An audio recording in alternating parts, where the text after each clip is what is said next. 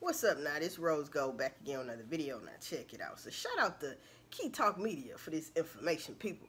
Um, somebody go check on Chris Brown, man. Now, I tried to tell y'all that the fight wasn't like people were saying it was. He got, you know, Usher got beat to a bloody pope and this and that and this and that. Usher performed last night at the Lovers and Friends concert right? And despite Chris Brown jumping on him, Usher still let him perform because he was going to perform anyway. And let him perform anyway, right? Bygones be bygones, people. Chris Brown backstage, people didn't got into it with somebody else. Not Usher. He didn't got into it with somebody, though damn, like, hold on, man. Somebody need to check on Chris Brown, man. Now, I don't know if this is the ooh we don't touch that speaking, people. But I tell you this, man. Chris Brown can't go out like this. He can't go out like this. Now, I tell you one thing. All that skating Usher been doing and whatnot. And I know he's been skating before this. People seeing him skate a lot more. But this the thing. Chris Brown, they they are saying that Chris Brown, that was Chris Brown idea. His invention of, you know, doing all this skating type stuff. But he's not marketable. So they marketed Usher with the skating shit. You know, they ran they under the same management. And it's a lot of things that Chris Brown is supposed to be doing that Usher is not supposed to doing supposed to be doing only because but it's it uh but like I said, Chris Brown is not marketable. So they've been passing up Chris Brown and giving shit to Usher. But we all know the lovers and friends is Usher thing. That's not what I'm talking about. I'm talking about other stuff in the past that would have been Chris Brown's if it wasn't all for this, you know, attitude and fighting and shit like this. Chris Brown need an attitude adjustment. People, I'm, man, I'm sorry to see him going out like that, man. Cause I, man, his legacy so strong like the man legacy so strong that even through everything that we see him go through as far as fighting and him getting touched and stuff like this and touching others um his fans will not hate him for nobody right his day ones will not hate him for nobody people and that's a good thing. But at the end of the day man chris brown man somebody need to go check on that brother uh people, I, you know, I don't know if somebody disrespected the man and he just, you know, but I tell you this, I like to put myself in everybody's situation when it comes to an altercation. Now, what happened at, now what happened at that birthday party type shit, putting myself in Chris Brown's shoes, Usher was wrong. Only if he knew what happened between him and Teyana Taylor. Right Now, if he knew what was going on and he knew how Chris Brown felt about that, Teyana Taylor should have never been there. Because when you throw somebody a birthday party, you, uh, nine times out of ten, you don't know who coming. It's a surprise. You know what I'm saying? They'll just say family and friends and whatnot. You know what I mean? But like I said, if, if, if Usher knew that, yeah, he was wrong as hell for inviting Teyana Taylor. Alright? That's just my opinion. But if he didn't know, then it's it's not his fault because he didn't know. Uh, but like I said, if he did know, yeah, he was wrong for that, man. Because they know what type of guy Chris Breezy is, man. And that's just like at this event.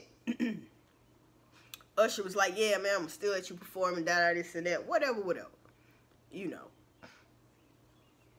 then he ended up getting into it with somebody and you know backstage and shit. Now they do got the video of that floating around, and uh, you know I ain't seen no fist fighting, but I seen a lot of you know trying to break it up, break it up, get out of each other's face type shit. You know what I'm saying? And so I don't know if this was after the man performed or before the man performed. Who knows if he even got to even perform? You know what I'm saying? This shit right here crazy, people. Uh, yeah. So, I, I, I think Chris Brown is having a midlife crisis. He might be having a midlife crisis, man. And it might be time for Chris Brown to retire. You know? Um or at least yeah, he might as well retire. Because if you're going to leave the music alone for a minute, you might as well retire. You see what I'm saying? Um, and, and just live life, man. Pay attention to his children, you know, his family, you know, and things of that nature. Because, and his true friends, if he got them, if he got them, you know. Because what we've been seeing, it's not good, people. And, and man, I'm mad as hell that Chris Brown out here showing his ass like that, man. Chris Brown need to get together, people. Damn.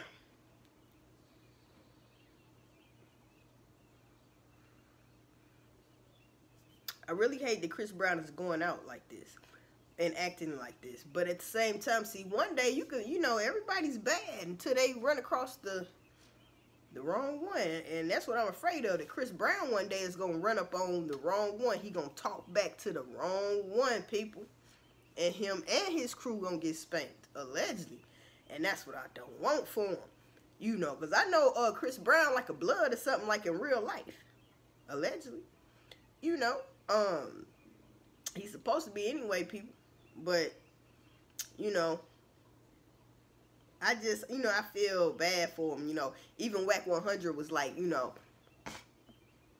he gonna run up on the wrong people one day, you know. And then he said, I think he said something about uh, somebody, you know, somebody gonna whip his ass, as if somebody is looking for him to whip his ass.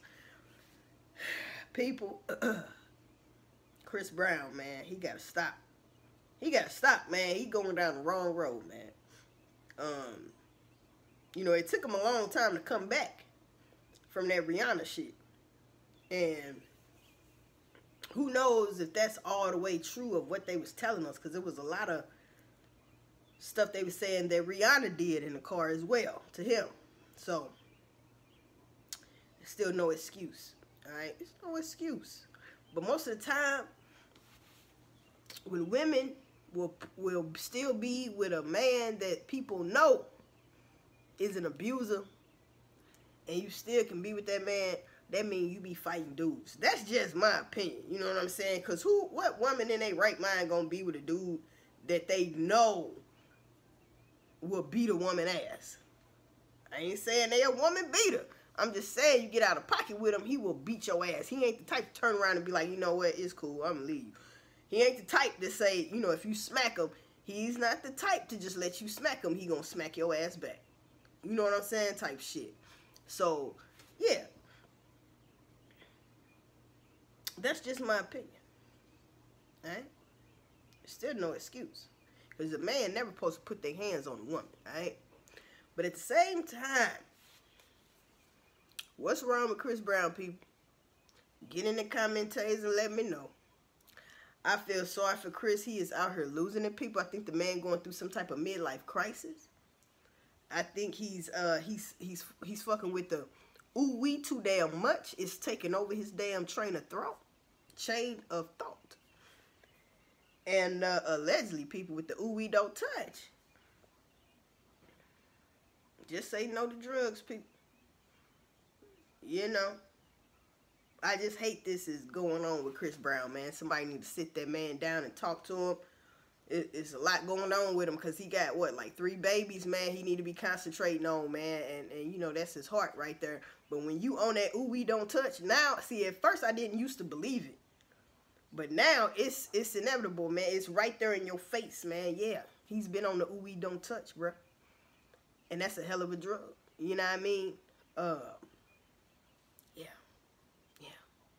Like Rick James would say, that's a hell of a drug. Right? Um, so prayers out to Chris Brown, man. He got to come back to Chris Brown. You know, because I, when I think of Chris Brown, I think about, oh, you know, that way back in the, in the day song. You know, yo and shit. And he was innocent right there and shit. And when they get in this, this damn industry,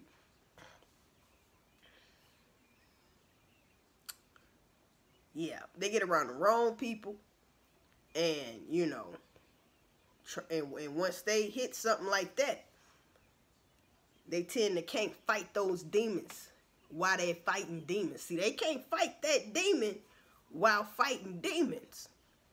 So in order to fight they life demons, they gotta fight this habit demon.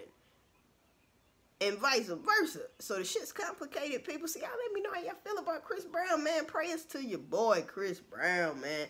Message.